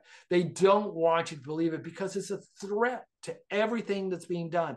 They don't want you to be destabilized or the country or any government to be destabilized by, hey, we got these guys, we've got the supermodels of government that are out here that we've hidden from you. They wanted to meet you, but we didn't let them. We told them you wouldn't be interested. You you, you have to go through us to talk to our people, and we're not going to let you do that. And in on the back, they don't trust these aliens any more than they trust us. And they have these different projects, and Kit Green can attest to this ways that they could bring these things down. And if you want to look to why a lot of these things crash, I wouldn't put it by that they were brought down. You know, mm-hmm. it's, it still mystifies me why these things can go into uh, uh, a government uh, uh, zone of operation, like off the East Coast there, where they they had the uh, 19 uh, the 2015 daily contact with these tic tacs out there, not the 2004 one, but the ones in 2015. off the East Coast, the USS Roosevelt's encounters. Yeah, that's right. Yeah, I mean, and they did nothing. If they really suspected these were Chinese drones, what the hell? They're in a restricted area. You try and hmm. fly a Piper Cub into that, and you get your your rear end shot down. No way were they and, Chinese drones. Yeah, no of course not. Of course not. Again, that's it's propaganda. These are the same people that told you all these things, the Russia collusion stuff, and now the border is secure. Right. It, I'm going, are you kidding me? How can if a UFO land on the White House lawn, they would say, no, it, it you didn't see that. It didn't happen. Right. it never happened. Yeah, again, all these school landings, they always go, "Oh no, it didn't happen, didn't happen, didn't happen." You know, you can't believe them, and and you talk to the witnesses, and they've all been threatened, by government people. The the the Australian science teacher was threatened. If you come forward with this, we're going to tell everyone you you're uh, a uh, a drunk and you're going to be fired from the school and all this. They threatened him, and he didn't talk about it for another 20, 30 years. You know, because he was so so intimidated. Um, so and, and that's still going on to this day they, they obfuscate and they create these uh, narratives that get people chasing angels and interdimensionals and and and i'm not saying that out of the thousands and thousands of cases that there might be a time traveler in there somewhere uh, i'm not saying that so so I, I don't want people to misinterpret that i'm i'm saying that oh this this there's nothing but nuts and bolts. I'm not saying that. I'm saying that there's a lot of obfuscation out there. And why do they say interdimensionals or time travelers? Because you can't get to them. Yeah. You can't. And I think them. what you're saying is there may not be all nuts and bolts, but there's a lot of nuts and bolts. Yeah. There's yeah. There's, there's a lot. And the government doesn't want you to follow the nuts and bolts. They don't want you to follow that. I agree with they, you. They want you. They want you to chase the interdimensionals or the time travelers because you can never get there. If someone is actually time traveling back here, they're not doing it every day. Mm-hmm. They're not taking their time traveling craft and hovering it over somebody's house in a residential area at 2.30 in the morning and hanging out there that's not happening they're not appearing in the wastelands of of of tibet uh, you know, above a mountaintop there and and for no reason whatsoever, what would they be studying there? Time travelers aren't going to those areas and they're not doing it every day. The same way with interdimensionals. Why would I mean, if they're that sophisticated and they have the entire universe in their dimension to explore, why would they come back here to this particular dimension every day? Every day, because UFO reports are every day. Every single day. And they're not they're not in the middle of the night. They're everyone's oh, why is it always in their bedrooms? It's not always in their bedrooms. Of course not. The first one I saw was began in you know twilight, began at sunset. It turned dark quickly, but I was wide awake driving. It wasn't something I fell asleep and woke up and saw. I was wide awake, standing outside my car. I saw it as plain as day, and there's absolutely nothing to sway me. Same way with, in March of 79, when I looked out that window and I saw that thing land in the driveway. I still uh, I go back and I think of how in the hell did they land? no one could uh, but it happens so often like uh, deborah landed in her backyard betty andreasson landed in her backyard and we always think oh no one else saw it no with betty andreasson other people did see it with okay. Deborah, other people did see it. They just didn't say anything about it. And so I presume that maybe I think that nobody else saw this thing land there. But we were on the edge of the city, you know, almost in the desert. And it, there, there were houses, but eh, it wasn't that close. And 11 o'clock in Tucson in, in 79, that's pretty much everyone's in bed. you know, it wasn't a wild town with a lot of things going on. So so, but they don't want you to to focus on that. They don't want you talking to people that saw these things. Uh, it, it's like when Marco Polo came back from China. The, you know, he wrote the accounts, and it was years later that people finally thought, well, maybe there is something to this Marco Polo stuff. you know, you know. But if you go back historically, the Greeks met the Chinese. You know, back in, in BC, 130 BC, the Chinese wanted to get Greek horses. They had a settlement in the in the Middle East there, and there was actually a little war that took place between the Chinese and the Greeks there because the Greeks didn't want to give up the horses, and the Chinese only had ponies, and they wanted. I want to look into that. I didn't know that one. Yeah, yeah, it'd make a great movie. That that that incident, but but it, now they don't want you talking. That's why they don't want you going back uh, in these UAP files. They don't want you going back to the older cases, and why investigators need to go back to those older cases because I can hear I hear in these podcasts and these interviews, people don't know what's happened They don't know what's gone before. Why is there any good pictures? There are hundreds of good pictures. You've showed many of them on your site. You've mm-hmm. done your reviews of the through the 70s and stuff, and you've shown the best pictures of those things. But there is film footage, eight millimeter film footage. There is videotape. There are great stuff there. Multiple eyewitness accounts from different angles in different. I remember Wendell had a photograph that was taken over Manhattan from two different areas in Manhattan in broad daylight, viewed by hundreds of people. I've never seen that anywhere. It was We're gonna have clear. to cover this in another interview. I'm gonna have to do this because sure. there's too much. You've got yeah. too many good stories. Yeah. We're, we're, gonna have to come back. I, I really right. do want to have an sure. interview number four with you, but I think this is a good place to uh, to wind yeah. this one down because you actually have done this is a real service allan. I i this might be my favorite of our conversations. Um i have to i'm gonna have to review them all because they're all good. But this is um this is something that researchers really need someone who's got to go in to, and look for any kind of records of the carter or reagan administrations and and really try to look for evidence of this plan. Uh, a kind of disclosure using the train system that was used for the bicentennial train to display the UFO evidence. This is an incredible uh, statement. And I mean, there's no reason that I should doubt anything that you've said here. You provided um, the press release, you provided a lot of the artwork, the mock up of the display itself in the um, in Minneapolis. Like it, this, this all seemed to be in the works. Uh, the way that Jim Lorenzen was talking about this with you, uh, it's very suggestive of deep government connections and and what we might call a, a, a, disclosure attempt that was in the works. This is surprising to me. When you look back at the early Jimmy Carter, the first year of his presidency, it was 1977.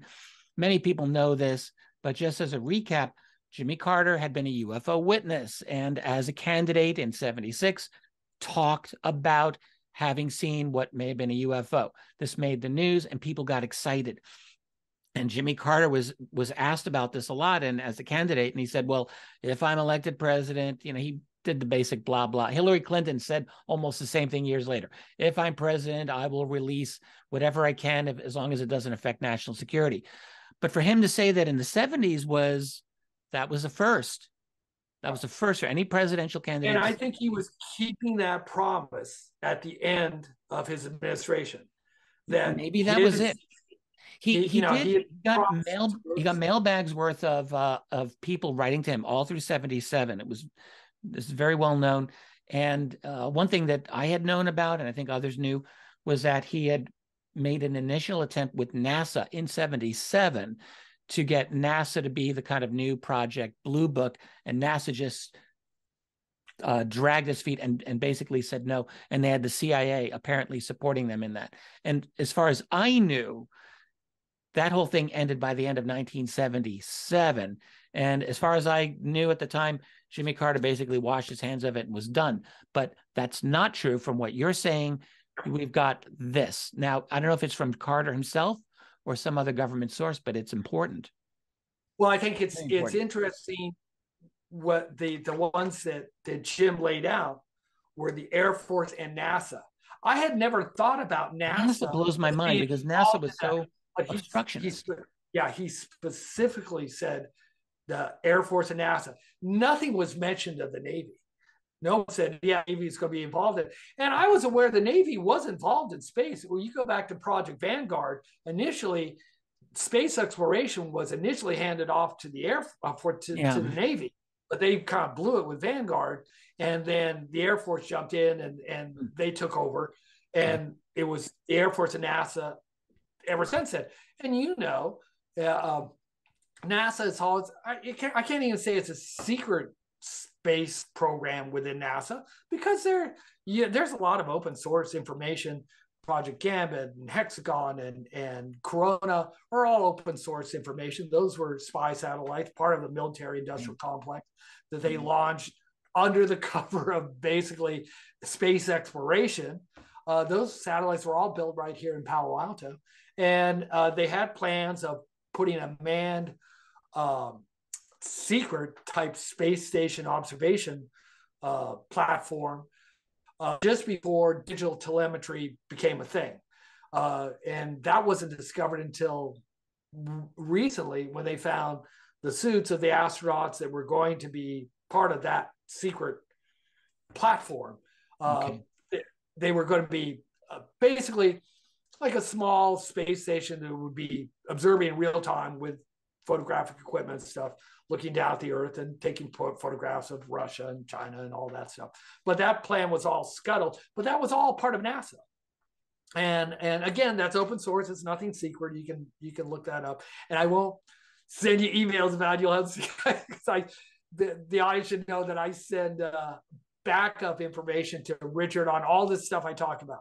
I don't just tell them you know many many emails. That is true. Yeah, yeah, yeah, yeah. It, with with the links on the the university mm-hmm. papers or the documents. It's it's nothing. I'm just making up out of whole cloth and tell the story. Yeah, I'm yeah. sending him the backup. This is where this comes from, and I don't. I know if I was in Richard's place, I'd go like, "Oh my god, why is this guy sending me all this stuff?" I know it's all good. but it, it's it's there in the background. If you ever need it, it's there. So it, it, it's uh, when I share these things, it's I'm not just you know sharing it. Oh, this thing I have backup for this stuff. So uh, yeah, Carter had promised that he was going to release this stuff. I think this was his last opportunity to do it. He might have thought, hey, the chances are I'm going to get get kicked out. I'm not going to be in a you know a second term, or maybe I can turn that around if I release this stuff and get this thing going. And it just didn't happen, unfortunately. It's it's very very unusual, and it's puzzling to me. Certain things don't still don't fit in my vision of how I I thought things worked.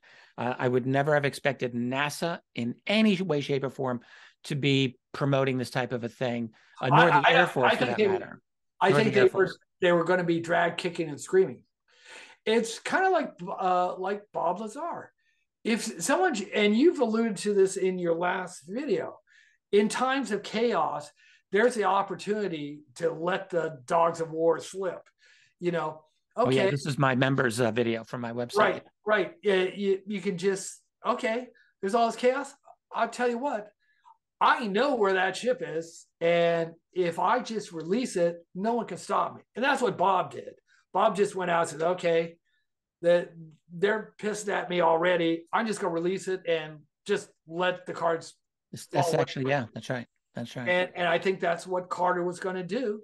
It's just like, okay, once I get this going, I don't care if NASA doesn't want to do it. They can't stop now. I'm the okay. president of the United States, and I'm telling you, NASA has the goods on this, and they need to come clean. So your best, the best theory may be that this was actually a Jimmy Carter thing not a NASA thing, not even an Air Force thing, but oh, maybe oh, no, Carter was... found a way to strong arm. Oh yeah, uh, it, no, I, I know for, for, certain. That, it, what you think? Was, yeah, absolutely. Carter loved trains. Remember, uh, back at that time, the Russians had this mobile train missile system. Uh, mm-hmm. Uh, it was actually uh, uh, like on basically on semi trucks. Basically, they're running these missiles around. Exactly. Yeah. And Carter proposed this big uh, uh, train operated ICBM system where we were going to have uh, ICBMs on train tracks using the, the country's train system to move around. So, so he, he was very much into the, you know, the, the train systems of the country. And again, today we don't think about the trains. We don't even think how important the trains are today. Uh, um, but 80% of all our chemicals in the entire country are shipped via rail. If the train systems disappeared, like they were going to go on strike, uh, it, would, it wouldn't shut down the country. It would shut down the planet. Hmm. You, you would literally stop everything. You think the COVID shutdowns were bad? Those trains stop, everything on this planet stops. Yeah. It, it, it would okay. it would be years. So he was very much into the trains. And so looking back on it, using the bicentennial train museum concept yeah as a, a way of getting this out. Yeah that was all him. This is a really interesting uh, concept and i mean i can't say we know this is how it went down but it sure seems like this could be how it went down. Well the, jimmy carter really was pushing the, this. I'm the ids center, amazed. somebody somebody with big bucks was pushing that IDS center. They had two sources uh, Blue Book, which was closed, and APRO. APRO had funding from somebody. And it, it wasn't the generosity of strangers.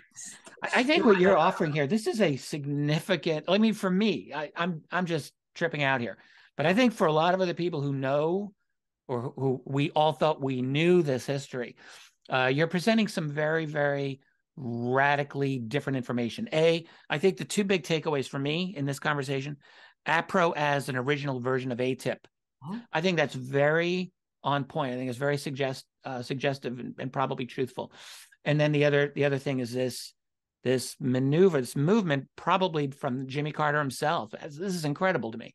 Now I, uh, I have spoken to people presentation within you know the law enforcement apparatus about this. The only other person I, I, I spoke to a friend in it, and I said, you know, they they tried to disclose this before, and they they said to me, you know what, it's time that they they do it again, is what they told me.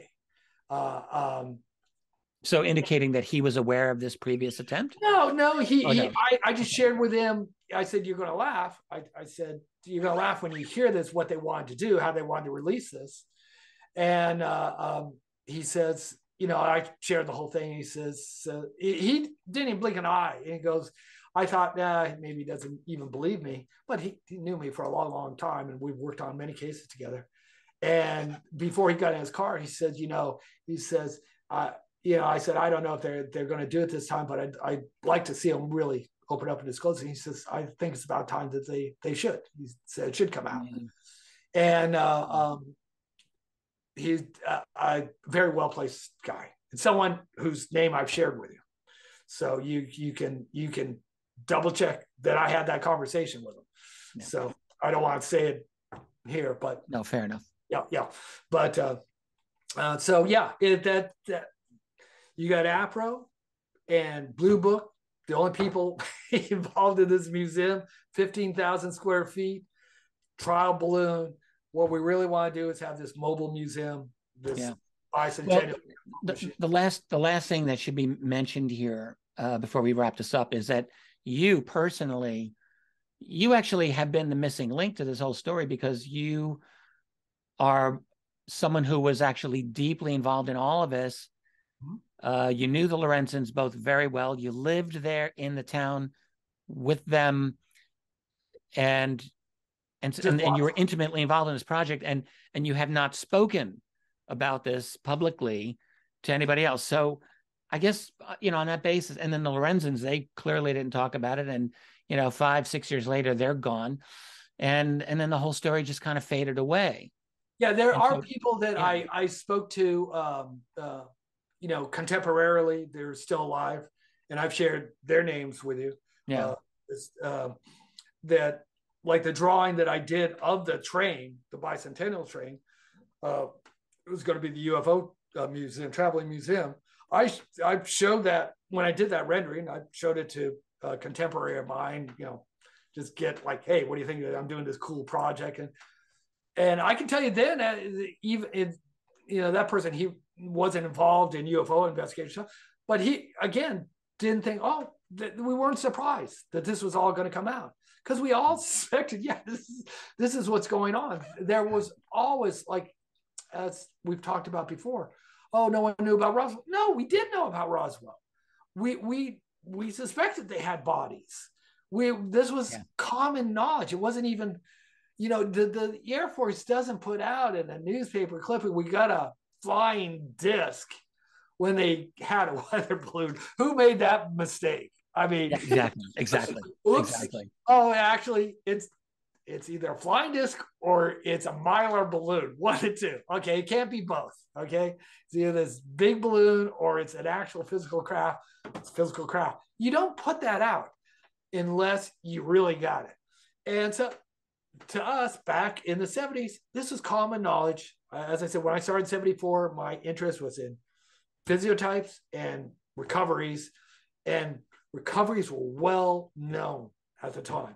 All the Aztec and I'm very glad to hear this. It's it's a good uh, kind of revision uh, of our of our history of what we thought we knew, and I include myself here because uh, well, there's been you know, there have been rumors. I knew there were rumors, but I didn't know that it was as solidly believed by people, at least in your region. Maybe maybe it was your region. I, I don't think it was just our region. I really don't? don't.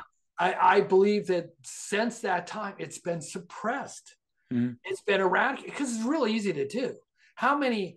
We there were uh, monthly. There were a couple of UFO magazines that went out routinely back in the seventies. How many people have copies of those today? You have some of the APRO uh, newsletters, but there were mag full fledged magazines came out every month. Yeah, yeah, yeah. yeah. of. I, I- got a nice little collection, but it's not complete. There, Yeah. I mean, I have a good one, and I know there's most how of many stuff people I don't have.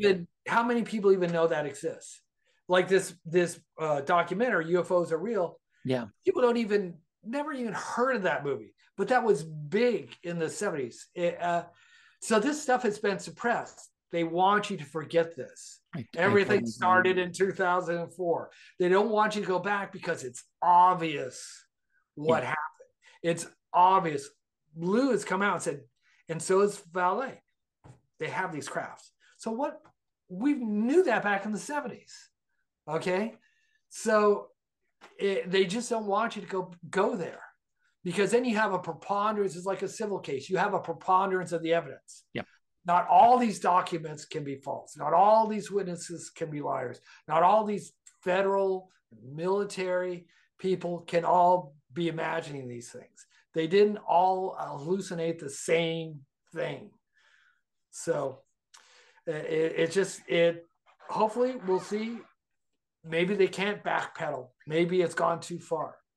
Maybe there'll be enough of a press that they just can't deny it anymore. Maybe there'll be more Bob Lazars. Uh, David Adair, I, I really wish he would. He's talked more, but I really wish he would come out and talk talk more. You know, in our last, I'm just going to say this before we wrap it up. In our, in our other interview where we talked a bit about Adair, there's some comments below. If you haven't seen them, you should check No, it out. Uh, yeah, a lot of people were very uh, not believing of he, uh, the Adair. he is he is much easier. You can go back and and into the congressional record and document. And I sent you some documents uh, of uh, LeMay's uh, uh, granddaughter who tested. Oh yeah, he knew my my uh, grandfather. So I sent you a, a link to that to her statements and stuff. No, no, I, I, I, I go. I, I haven't. Uh, I don't know what I think about David Adair. I honestly, I, it's a cop out. Some people like Dolan. What's wrong with you? He's a total fake. Others don't feel that way, and and uh, I've met the man. Uh, I, as I said, I like him personally. I spilled a big full glass of red wine on his on him one time, but he was very gracious and a and a brilliant. He's absolutely brilliant. There's And his no his denying patents, this. He's yeah, a his brilliant man. Yeah, his patents can all be researched. His work or He's with brilliant for uh, real, yeah. high level. with General LeMay is documented in the congressional record. It's not something he imagined.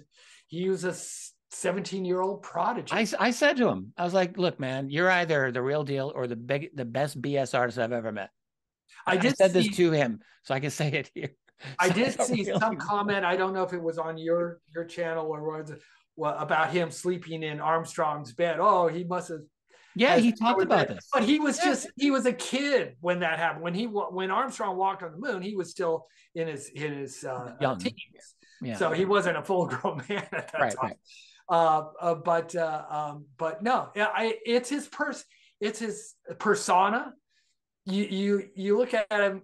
It's just because he, it's just his persona, and you got to get through that persona. It's like Bob Lazar. People look at him and say, "Oh, he's weird." Have you met any physicists? I mean, he's no. Bob is exactly like every physicist I've ever met. He, you know, skinny guy with the, the the pocket protector and all the pens and pencils in it Yeah, no, it's, and, and yeah, he's exactly that. And when you get him alone, they're normal and they have some. They may have some. They're like anybody. They have their well, I, own. I, I'm a, I've never really been a, a doubter of Lazar. I actually support Lazar. I caught a lot of crap for that uh, years ago when I wrote about him for the first time in one of my books, but uh, I stand by it and I still believe Lazar. Adair, I've always had a, more of a hesitancy, but I will just say this, and this will be my last thing. When you meet him, you cannot not like him. yeah, yeah. Uh, you you cannot dislike David Adair. I will just say that to anyone, even even the haters. Uh, he is a, a, very genial, personable, and uh, I mean, he's a guy that you he's he's he's enjoyable to be around. That's I that's think a lot of I think a lot of the people online, not your viewers, but a lot of the crap that comes up about Adair online are from the same people that come up from Bob or the same people that try and obfuscate this stuff. Because if you go to Adair and say, okay, sit down, show me what you've got. Why aren't they bringing Lazar in front of Congress? Why aren't they bringing Adair in front of Congress? Why aren't they bringing Vallée in front of Congress? I mean, these these are people that said, yeah, I was, I saw it, I touched it, it was there. Why mm, don't well, they do that? Because what what would they have to lose? It would blow the whole thing up. All right. Well, we're we'll have to come back to Adair and the other people another time. I don't know, but I'm glad we talked about the late '70s. This was a really, uh, I think it was a worthwhile conversation and a unique conversation. I don't think this has ever been discussed before. So no, no glad you provided the uh, you provided some very uh, excellent visuals, which uh, I, I think people enjoyed seeing. And I think this was good. So I want to come back and do this with you again, uh, Allan. I think there's more uh, cool things to talk about. Um, I'd like to talk to you, as I yeah. shared earlier, about you know what I learned in all these interviews because there's a lot uh, of the interviews that you did of, uh, of UFO witnesses and like witnesses and stuff, and the conclusions I made, just like you made, you rewrote your conclusion in in your uh, your book there. Um, did you oh. just? Oh. Yeah, I'll tell people I just I've done a revision and ex- much expanded edition of UFOs for the 21st Century Mind, and uh, I wrote about 60 new pages for that book. 60, that's a lot, uh, and so that's where we were going to try to get it out before Christmas cutting a little close. But maybe we will. We just got the new cover. It's beautiful. Uh, I may try to upload it within the next day or two. It's possible. But yes, I wrote, I added a, a new conclusion, which I shared with members of uh, my website, which you got to see. Yeah, because as time goes on, you you learn things. There are so many things that you think that, well, why didn't you think about this at the time? Yeah. Well, I didn't have all the information that I have today. And now reflecting, I go like, oh, what about this? What about that? Uh, uh there's yeah, things, we're always oh, thinking new. Yeah. Yeah. Well, there's things that I, I, I, won't get into this now, but like everyone's Assange, oh, the, the Tic Tac knew their cap point. Oh, I can explain that. I mean, that now I, I wouldn't have been able to explain it 10 years ago, but I can explain that now. And we'll leave it as a not, teaser for our next, our yeah, next one. Yeah, exactly. So, but people but, wanting yeah, more yeah, I, I definitely would like to share what I learned in these these interviews. Let's do it. You know, we will. We will definitely. So this well, is a two hour a two hour thing, and uh, and I want to wrap this up because uh, I have to then two hours. get this ready for the world here. Uh, but I'm I'm very very very very grateful for this, and as always, I've enjoyed uh, our time hanging out here. Um, what one of the listener viewers of comments said, Dolan, stop interrupting Allan all the time. You're always interrupting. and and I I don't want to interrupt you, but it's interesting working with you. I just got to say because you uh, you're such a wealth of information and your mind, like I can just see, like you always you're going in all these places. And here's here's me. I'm sitting here and I'm like, all right, I want us to get to this museum thing. I want to get to the train. And and so I'm always I feel like I'm trying to reel you in but like you're well, yeah, you're like you're a good moderator. You're a good moderator. You're this and, and wild you stallion, like in the movie. I'm wild stallion. That's you. So, uh, but I've also felt like you just have so much.